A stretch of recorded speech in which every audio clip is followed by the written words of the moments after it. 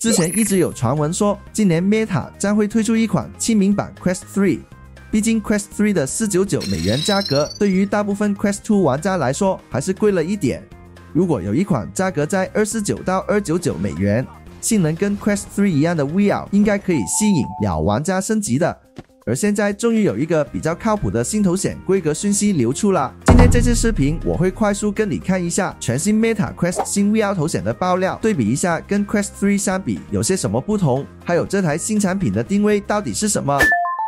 这次的爆料是由知名 Meta 爆料人士 Luna 在 X 上分享。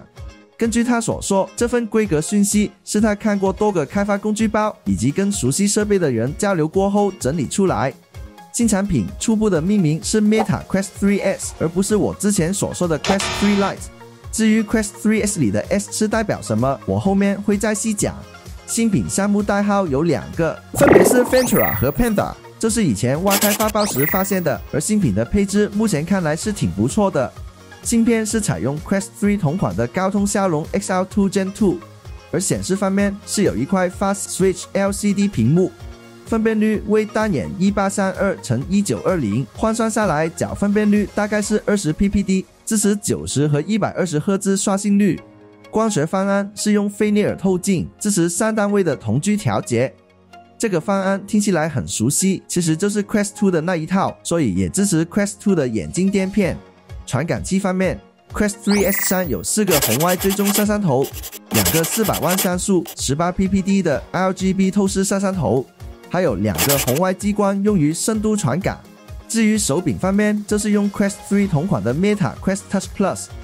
而软件方面，同样是跟 Quest 3一样，包括有自动空间设置、内向外身体追踪、多模态手部追踪。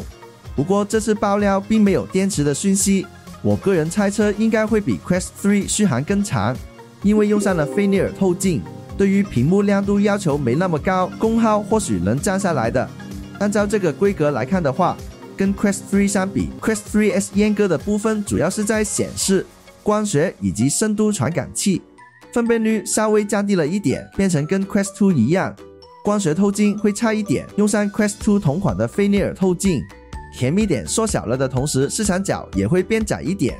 虽然透视摄像头的规格跟 Quest 3是一模一样，但是 Quest 3S 跟 Quest 3相比，减少了一个深度传感器。改为两个红外激光用于采集深度信息，跟 Quest 3上的深度传感器不同，3S 上的红外激光不会发射出结构光。听起来好像功能上有缺失，其实用红外激光也有好处的。相比起结构光只能一秒一次帧率去识别，由于红外光可以一直常亮的关系，只要加上几个高帧率摄像头，就可以做到一秒六十到九十帧的黄金识别。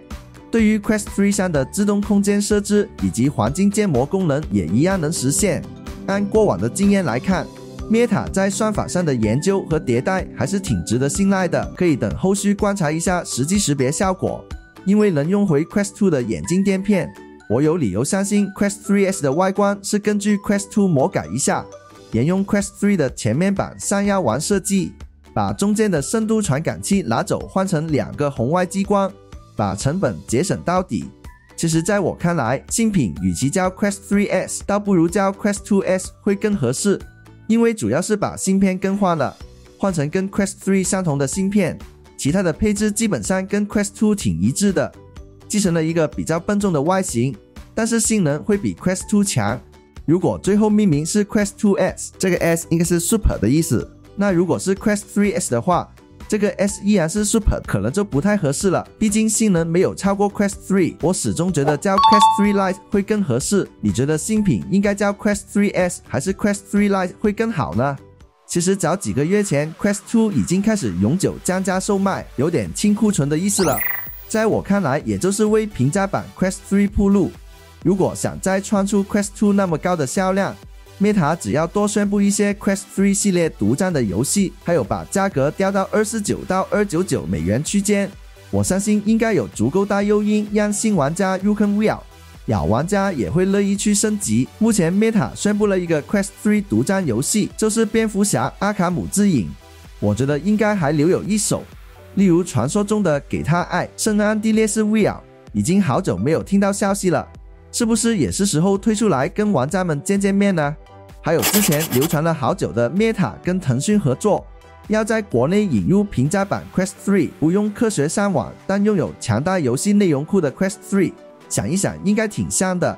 所以 Quest 3S 的规格能吸引到你吗？在什么条件下你会愿意入坑或者升级手上的 VR 一体机呢？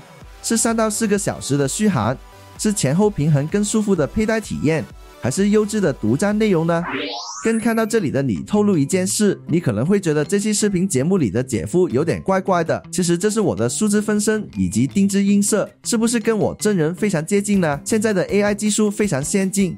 应用在视频制作时，就可以提升一下出片效率。我在想，如果以后做一些书包类的 XR 节目，也可以沿用这个模式。一些 VR 游戏体验和硬件评测就真人出镜，你会喜欢这种安排吗？或者有没有其他更好的想法？欢迎在弹幕或评论区告诉我啊！以上就是本期视频的全部内容啦。如果有其他补充资料，我会在下方评论区留言。喜欢这影片的话，不要忘记点赞和分享，支持一下姐夫。还有订阅我的频道，开启小铃铛，第一时间接收我的更新通知。姐夫在 B 站以及 YouTube 都有自己的账号啊。这里是潮玩 VR，一个集愉快体验和硬核教程的 XR 爱好者频道。我们下期再见，拜拜。